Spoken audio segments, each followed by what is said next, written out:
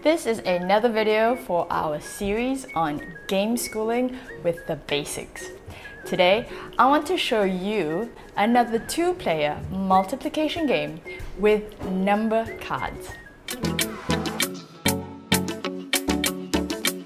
Hi, I'm Ly-ann and I want to inspire families to learn through play.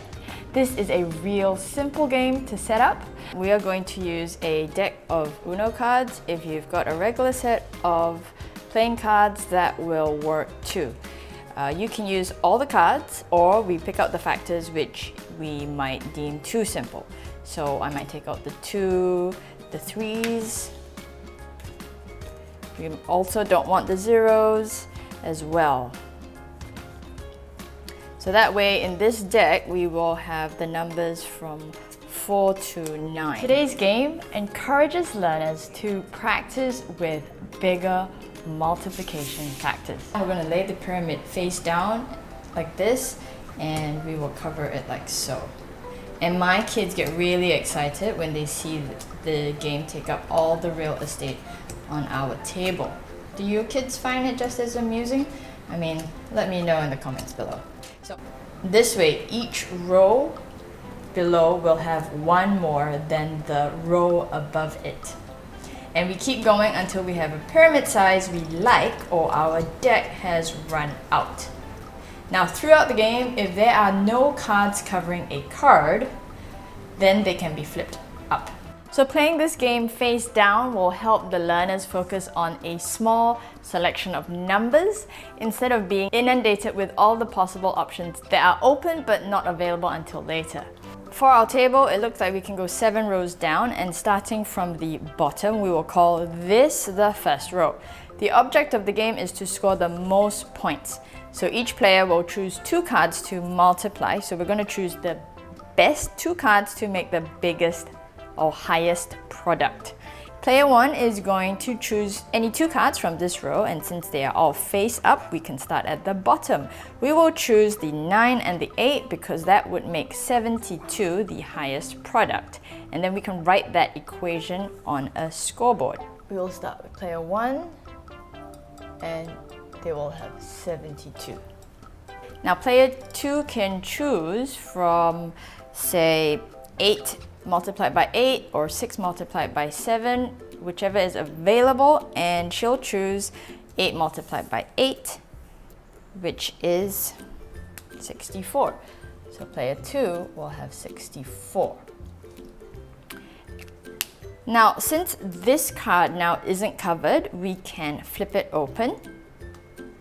And from now on, the 8 on the second row is also available.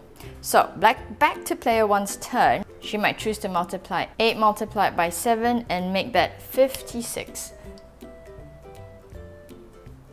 for her scoring.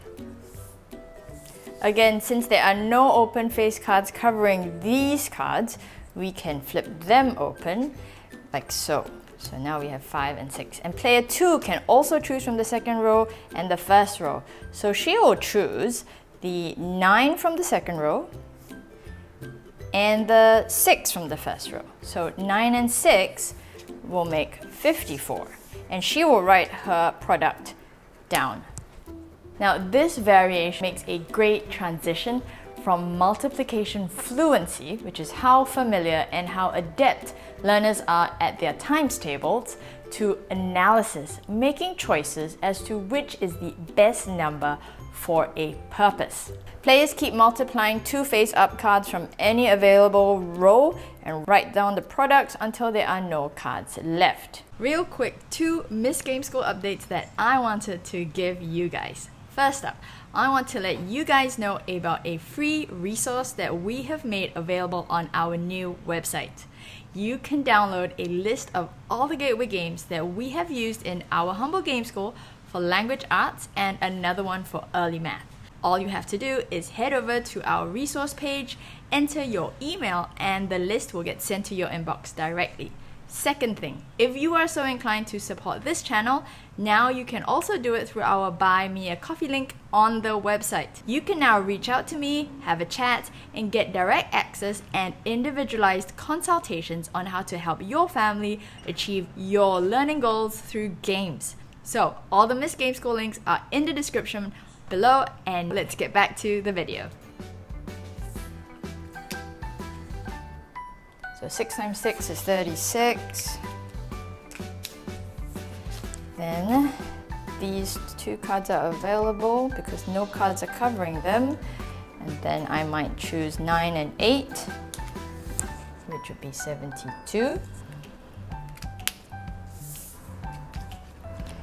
Player 1 can go here, since this is available, and pick a 6. So she can multiply 5 multiplied by 6, which would be 30.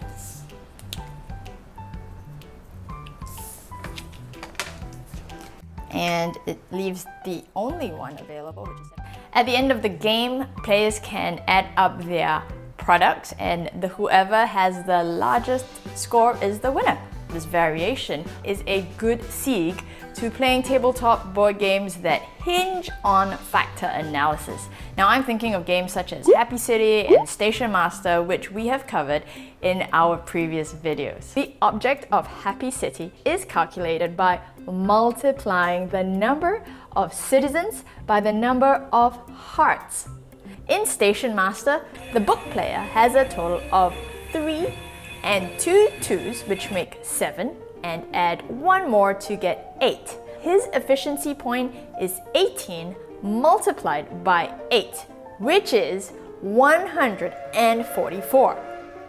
If your students need more work on fluency, check out how we used Kombo Klash and Ohanami to bring multiplication to life. Or if you want your students to discover the relationships between numbers, factors, and their products, including prime numbers, make sure to check out how we have used Joyful Mathematics multi-board game to do that. Thanks so much for watching and I will see you in the next one.